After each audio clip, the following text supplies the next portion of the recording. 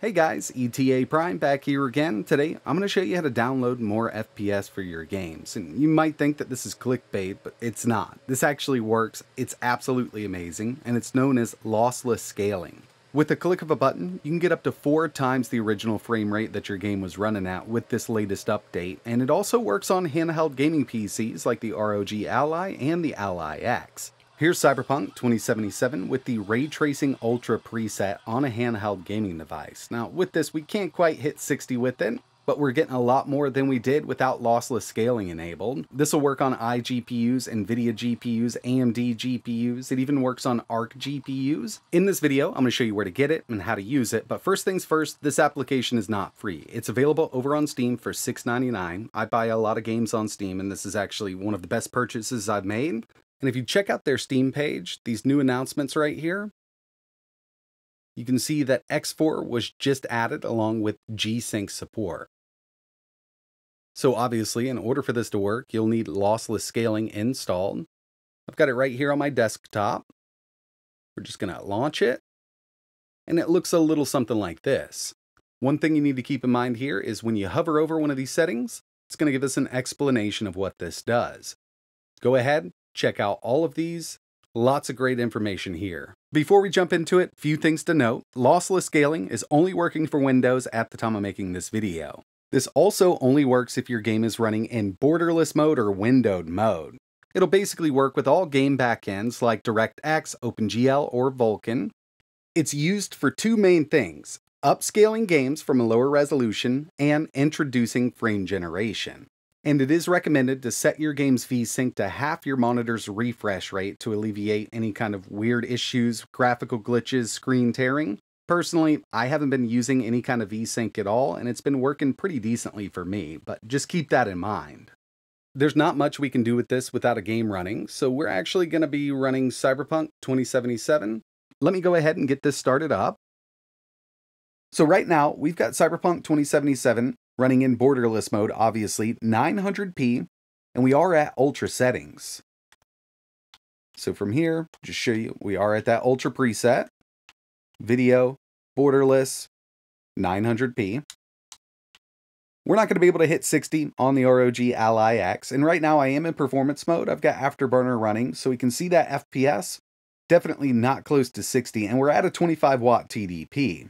Now with lossless scaling, there's a lot more that we can get out of this. It's really awesome actually. And the developer has made it really easy to use. Again, if you want to use the scaling side of things, you will need to be in borderless mode.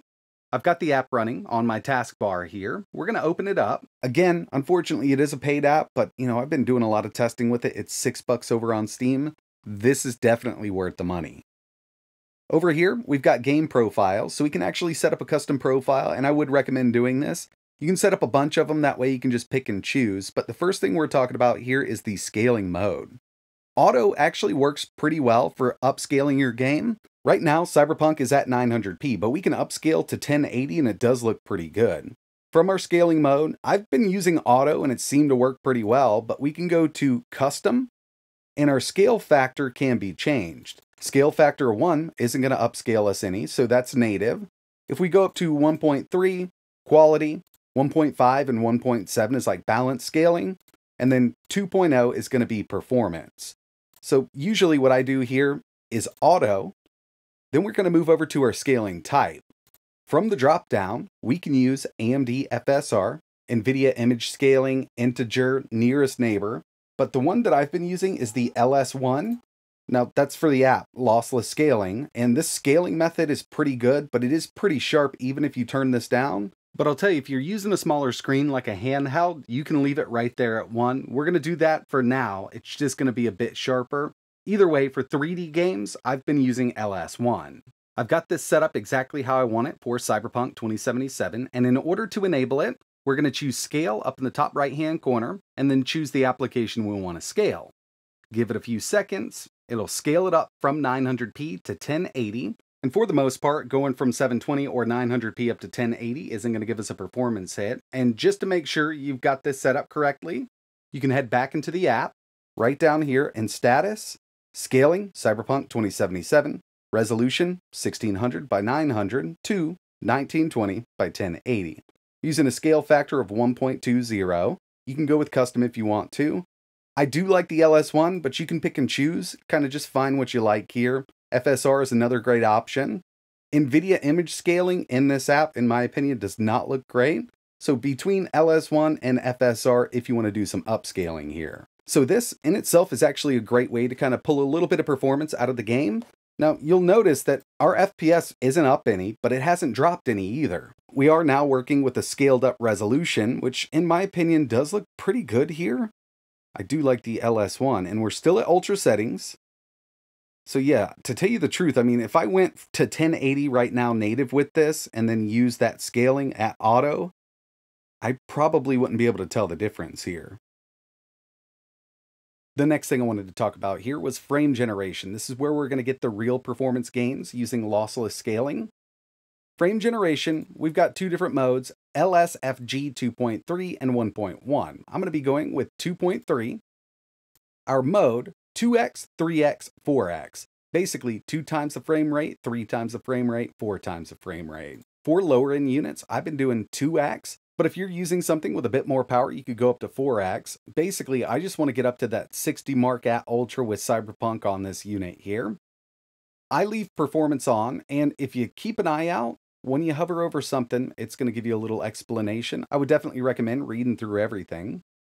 Cursor, not something I mess around with. Performance, I leave this on. Sync mode, default, VSync, half, one third, one fourth, or you can allow tearing.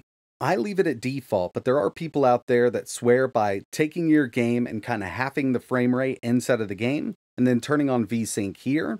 Another thing you can definitely experiment with, but default seems to work out really well for my use case scenario. Max frame latency. So this is where latency comes in. We're set to one out of the box, the higher you go, the better performance you will see, but this will introduce more latency.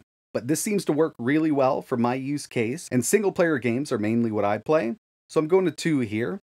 We don't need HDR, this now supports G-Sync and Draw FPS.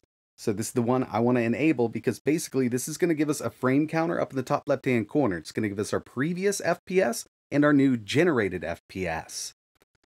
So for this game, I've got LSFG 2.3, mode is X2, I use performance, sync mode default, max frame latency 2, draw FPS on. We're going to unscale just to kind of unlock it. We'll scale again, choose our game, give it a second to initialize.